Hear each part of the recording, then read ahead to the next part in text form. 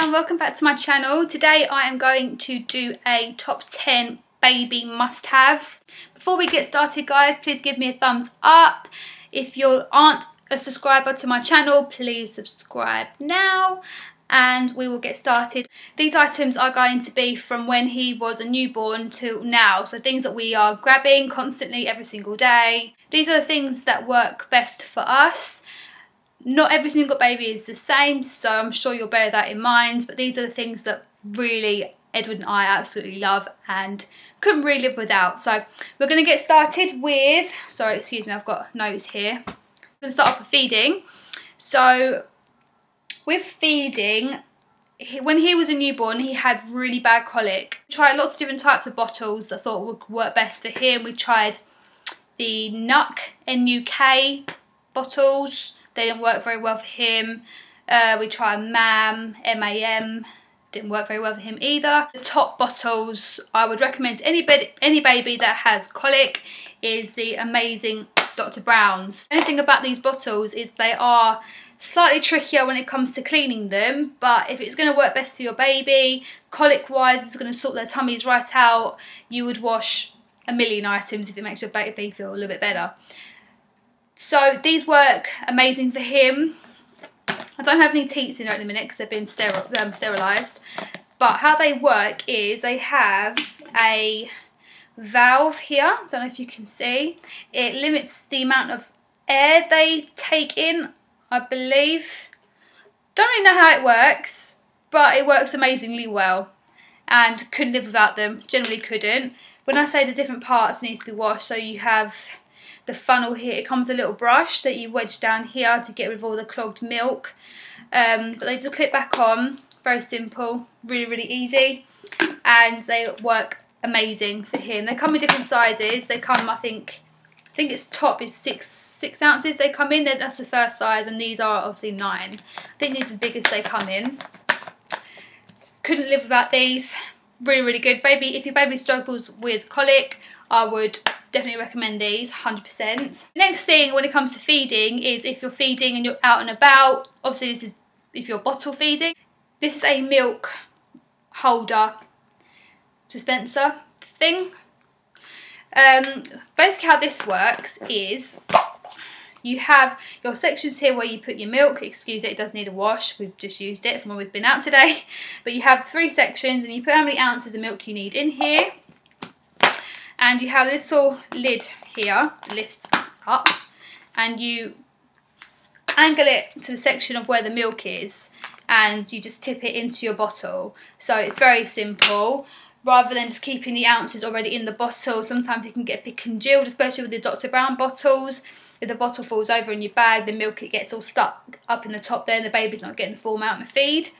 This, it holds everything. It's not, it doesn't get damp or anything. It's, the, the suction is very tight on it. Easy to clean as well. So you just pop it in and it's done and you're ready to go. ready to feed your baby if you're out and about. The next thing is a bit obvious. Uh, most mums, I believe, do have this, but this is a thing I could not live without and I cannot miss out on this video. It is the Milton sterilising fluid. Whoa, nearly dropped on the floor. this is fab, I absolutely love it. Um, so if you're out and about, it's amazing to have in your bag. If you're going out to a friend's house, your baby drops his dummy, or you've run out of bottles, you think I don't have any more sterile bottles with me. What you do is you put the fluid inside the cap and that's how much you use. You put it into a jug with boiling hot water so you then got sterile water and then you put in your bottle or you put in your dummy or whatever you need sterilising, leave it in there for 15 minutes 15 minutes. You don't need to rinse it either, it's absolutely fine for the baby to have straight away after being sterile and then you're, you're good to go. Okay, so next we're going to do playtime. Because he's still young, he's not quite playing as such. Um, he's starting to look more nowadays, he's grabbing more things, he's engaging in things and everything. But the things that we are generally using at the moment the top thing I could not live without playtime wise is his swing.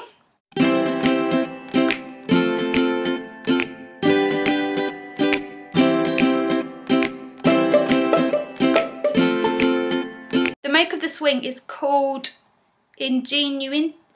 Ingenuity. I could be saying that wrong. Um, but it is the Mothercare brand. They vibrate, they play music, different types, they play white noise, different tunes, like wave sounds, and it swings on its own. I think it has four or five different level settings, so you can have it just, just rocking slowly or you can have it proper swinging. Edward loves it. He's in it most days. It's, it seems to be the only thing that really likes, he really likes, and it does settle in very easily. I've heard some babies don't like the swing. I've seen other videos from other mums of their top baby buys, and people have said that they wish they didn't buy a swing. Um, different story with us. We absolutely love it and could not live without our swing. Definitely not. The next thing is his playmat. Again, this is Mothercare. The only thing about this playmat is it is lovely and comfy and it looks gorgeous. I do wish I bought a different type of, the, of playmat. I wish I bought something more colourful. That's the only thing with this playmat. It seems to be quite neutral colours. Um, when we go out to baby classes, I pop him under a different types of playmats and they gen they generally are a bit more bright and colourful than ours and he seems to be a bit more engaged in it. I don't know whether it's because it's not his own and it's, it's new to him but he seems to be drawn to lots of lovely colours so I wish I did buy a brightly coloured one um, but again it is a great buy and he does love it. He only likes to be on it for a short period of time so if he's at his point where he's wide awake and he doesn't really want to rest and he wants to do things. We do a bit of tummy time on it. We pop him underneath it. He has a little play around. I do dangle my own toys on it, which is great because it has a little bit of Velcro tab on top. So you can add your own toys onto it too, which makes it its own colourful in its own way. We do um, put a bit of tinfoil on it as well. Shiny, pretty crinkly. Babies love being drawn to sort of shiny things. So we do stick tinfoil on it as well. The next thing with playtime is obviously toys. Um, again, because he's young, not really playing much, but I've got a couple of toys here. These are the things that he does hold now he does and he just inspects them really close to his face and he does play around with them a little bit and these some of these toys we hang on the playmat like I said um, the top one that I do recommend is this one. This is a tummy time one. So you just pop them on the middle here and they can grab lots of different toys and it all makes different sounds. And it is lovely and soft as well, so it's not digging into them or anything like that. This is from Baby Einstein. Oh, there you go. so it's very, very, very cool. It has a little teething leaf here as well very colourful and he does love this as well. Again, short periods of time as well, but when he gets a, when he gets much stronger, he will be loving this. Next toys, again, these are just ba your basic baby fire toys. I love this. This is a new one I've got at the baby event in the Excel baby event show. Uh, I have a vlog on that, so check that out if you have not seen it. This is a lifesaver as well. We click this on to his car seat so he can play with it when he's in the car. Again on the playmat it hangs and he kicks it with his feet. This is a little teething leaf which he loves grabbing. Little rings here which make noise as, as they touch. Uh, teething collar bib thing on the elephant. Crinkly ears, little mirror on it and it makes like a rattling sound really interesting for him to have a look at and it's lovely and colourful so he loves playing with this. Um, when we're in the car we just hear him just making like that sound. Like when I'm driving I can just hear him just crinkling away. So he loves this. Again another toy that he loves. Rattling, all different colours on the octopus arms. This orange one is a crinkly one. All the others are soft and have little rattle balls inside. This one's got a little mirror on it. Again, this is from Little Tikes. Oh, there you go. Love playing with this one. Next is just a little elephant. He loves it. It's all colourful and bright and it makes a little tune. I won't play it because it goes on forever. Um, again, Little Tikes as well. And he loves this too. Just a little rattle because when they're young they like grabbing things and you put their little hands around it and he just inspects it. It's really, really cute. This is Nuby.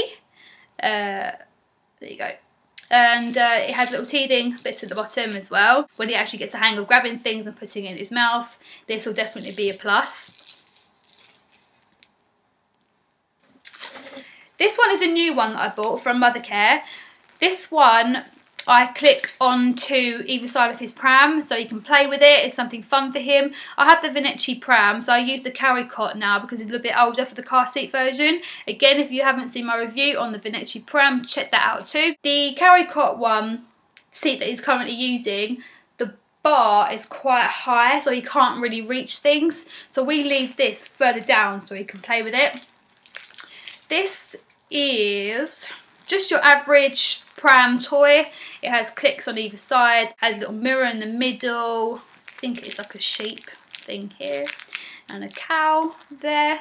We do use this in the car as well when I strap him in into the car seat because the seatbelt goes over him, I click it on the car seat. It's um, on the car seat. I'll click it on the seatbelt so he can play with it when he's in the car too. So it's really easy. It clicks onto most things. Again, really, really handy to have for playtime. This doesn't really come under playtime, but it's something for him to look at and for him to be fascinated by. I'd recommend the Chicco Nightlight. It clicks onto the edge of your cot and it projects stars on the ceiling and it changes colour and it plays tunes. I play it when I put Edward down for bed. Sometimes when after I fed him I put him into his cot he then wakes up because he's then leaving my body heat and he's going into his cool bed. He then wakes up and he's all alert. So I've just popped the light, night light on for him and he's checking it out, looking around. It's very, very, very mellow, so it just sends them off into a lovely sleep. It plays like a really lovely, relaxing lullaby tune and I would definitely recommend this. sets him off to sleep every single time we play it. It, it just looks so pretty as well at night time, it's gorgeous. The next thing is a jumperoo.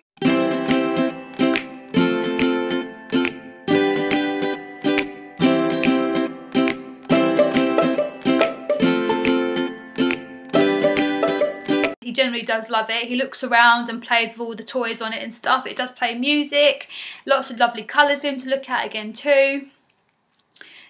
This will definitely be a Uh, my top baby buyer when he comes to let's say six months he'll be in that a lot of the time. But right now we don't pop him in it too often because I don't want to freak him out or bore him with it straight away when he's not even really old enough to really use it. So we do introduce it slowly and he likes it for a short period of time but because he gets a little bit tired now holding his head up for too long we do have to take him out quite early on. I say he's in there for 10 minutes max we have to get him out but that will definitely be a really good buy once they get much older Next section is going to be just miscellaneous items. I would really recommend getting a decent travel system.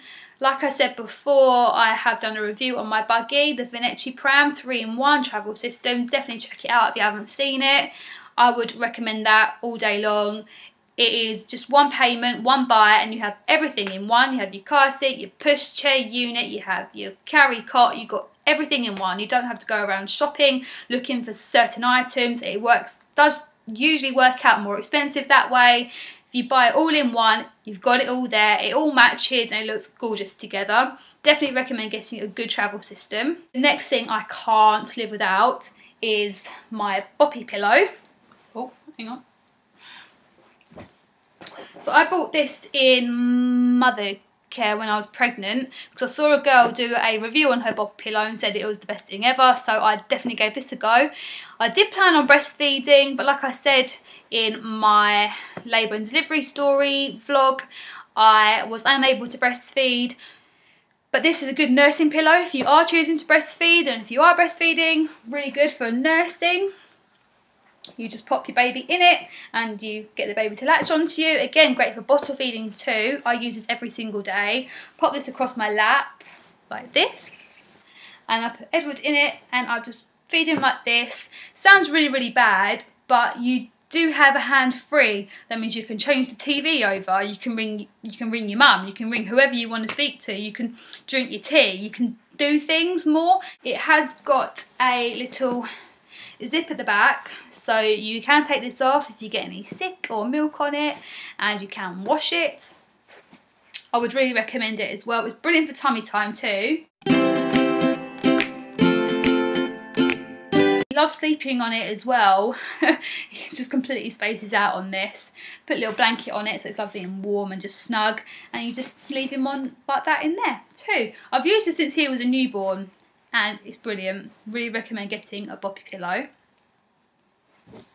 This next item I didn't know about until a friend mentioned it to me. I went and bought a flathead pillow. This is, it was £10 on Amazon. They come in different types, so I think they range, you can get them a bit more pricey if you want to spend a little bit more money. But this one just seems to do the trick. It's memory foam, lovely and soft. You can't wash it, it's the only thing. Um, but obviously how it works is you pop babies back of the heads of the crown, goes into the middle here and it keeps them upright, stops them from preferring one side. Edward preferred his left side and I did notice he was getting a little bit flat towards here so that's why I then bought this and I've noticed it hasn't got any worse and it does seem to be improving. So I definitely recommend getting a flathead pillow. Again, bought this on Amazon, only £10. What's £10 when you can start your baby getting a flathead? Definitely really, really worth getting one of these. Next miscellaneous item I would really, really, really recommend um, is a towel. Towel is genius, really is. Okay, it is quite big. Ooh, it's got a hood here. Right, so what you do is, it has a little vesty bit here. It's got poppers. So you pop it around your neck, like this. Right, so it comes all the way down and then there's the hood here. So you're bathing your baby, you have this already on, so you're ready to go.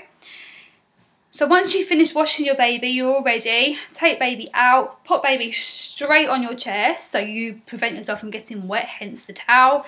Baby goes onto your chest, you then put the hood straight over baby's head so stops him getting cold. And then you are cradling baby like this. And when you lay baby down, you just unclick this. Then you put it over the baby so he doesn't get cold. And then you start drying them off. This I could not live without. Really really good. Let me see where it's from. This is from Cleva Mama. I will leave a link of what it is called down below properly because the spelling is a bit odd again really good buy Bathing, again, could not live without this. I've used it since day one. I personally went for the Angel Care bath seat. Again, Mothercare. I think it was 15 to 20 pounds, I think. I've, I love it, could not live without it. It has a max line here, so that's where you put your water up to. And because there's holes in the silicone section here, the water comes through so there's like a little puddle here when you put your baby in. Obviously don't leave your baby unattended in the bathtub. Just because they're in this doesn't necessarily mean they're completely safe. Accidents happen as you're well aware. So this again has got a silicone base so it's got a good grip on it so babies aren't going to slip all the way through. Definitely worth buying. I Absolutely loved it and it makes bathing your baby so much easier. Pop baby inside, you can then use both hands and wash your baby thoroughly and properly, get into the nooks and crannies. Definitely worth buying. Next item is a bit silly, a little tub like this. Again, it, like I said, it's a silly thing, but this I couldn't live without. I know my I know my dummies are clean const like continuously. It's completely airtight, so no germs are getting into this. It was it was a pound, I think, and you're in like Poundland or your Pound Stretchers shop. You can't go wrong with a pound, and it's going to keep your dummies clean. So you sterilise your dummy, and these dummies are in here, and they stay clean. They are always always clean and you can't go wrong with it. I literally leave it just by a steriliser and all of his set downstairs. I know where they are. You're not running around trying to find your dummies. Every time I find a dummy, I sterilise it, put it back into this jar and it's ready to go. So that's my top 10 items. You may think some of these items are a bit silly, but I'm just being realistic. These are things that are working for us I really hope you enjoyed my video. Thank you so much for watching again, guys. And I will see you all again at my next video. Bye!